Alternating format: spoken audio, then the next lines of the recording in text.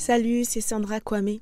Savais-tu qu'on retrouve dans la Bible 366 passages qui nous invitent à ne pas craindre?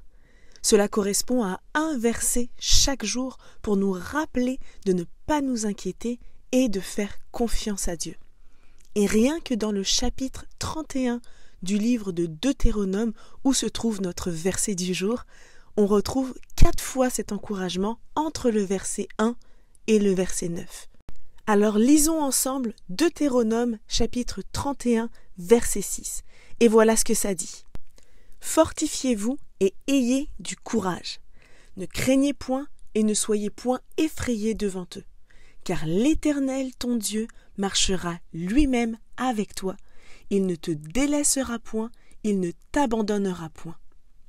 Dieu savait que nous aurions besoin d'entendre très souvent ces mots. Il nous connaît tellement il sait à quel point nous pouvons être oublieux parfois, comme pour le peuple d'Israël qui avançait dans le désert. Ils avaient la nuée le jour pour les guider, la colonne de feu la nuit, Dieu pourvoyait en tout, il faisait tomber la nourriture du ciel et jaillir l'eau des rochers. On peut dire qu'ils voyaient clairement de leurs propres yeux la gloire de Dieu se manifester puissamment. Et pourtant, quand arrivait la difficulté, ils se lamentaient il s'inquiétait, il se plaignait à Dieu et tentait de le remplacer par des idoles. Et nous sommes encore pareils comme ça parfois aujourd'hui. Nous oublions les bénédictions et les miracles d'hier et nous nous effrayons pour les défis d'aujourd'hui et de demain. L'inquiétude peut avoir des effets néfastes sur notre vie. Cela peut porter atteinte à notre santé, réduire notre efficacité, influencer négativement nos relations et surtout affaiblir notre capacité à faire confiance à Dieu. Alors Dieu, dans son amour, nous rappelle chaque jour et veut te rappeler à toi aujourd'hui de ne pas avoir peur, qu'il est avec toi, qu'il marche avec toi, qu'il ne te délaissera pas, qu'il ne t'abandonnera pas.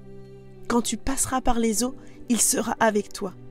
Quand tu traverseras les fleuves, ils ne te submergeront pas. Quand tu marcheras dans le feu, il ne te fera pas de mal, et par les flammes, tu ne seras pas brûlé, puisque Dieu te protégera dans l'épreuve.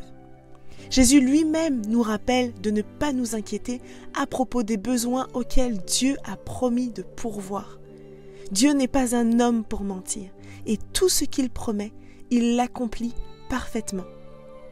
Alors je ne sais pas ce que tu vis aujourd'hui, mais ces paroles sont pour toi.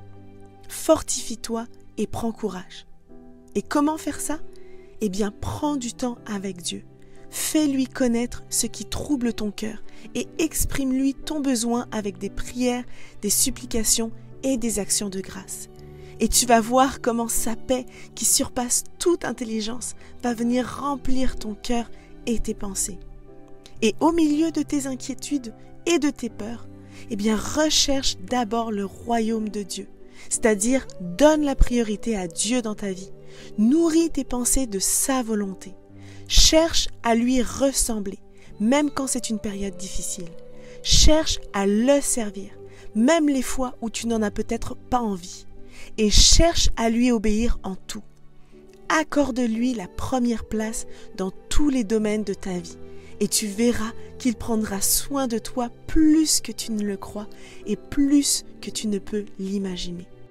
Alors je le répète encore une fois, fortifie-toi et prends courage. Tu n'as rien à craindre. Dieu règne sur ta vie. Le Tout-Puissant marche à tes côtés. Et si Dieu est pour toi, alors qui sera contre toi? Sois béni.